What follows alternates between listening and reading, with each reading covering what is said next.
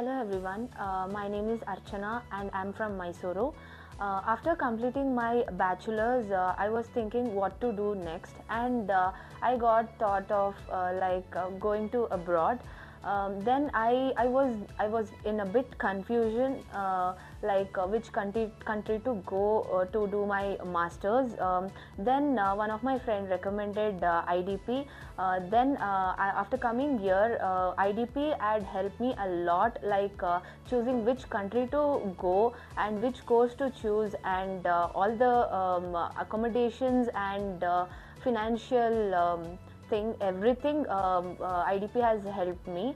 Um, one of my counselor uh, uh, she helped me go through all of this and she also convinced my parents like they were opposing me to go.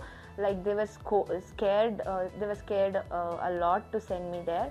Um, then she only convinced my parents and uh, then after that i'm going through all of the process. Uh, i have uh, applied colleges uh, for five colleges and uh, i had got uh, offer letter from all the colleges and uh, have chose to go to deakin university have chosen masters in finance. Not only with the offer letters uh, idp has uh, helped me through the health and um, uh, education loan and my parents are very satisfied with this. I would highly recommend you to um, go to go visit idp and uh, achieve your dream as well